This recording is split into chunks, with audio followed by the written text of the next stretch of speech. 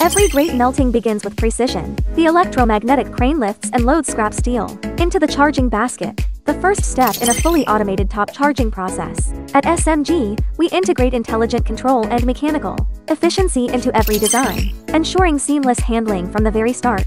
The charging basket is transferred swiftly by the basket transfer car, moving efficiently toward the EAF bay.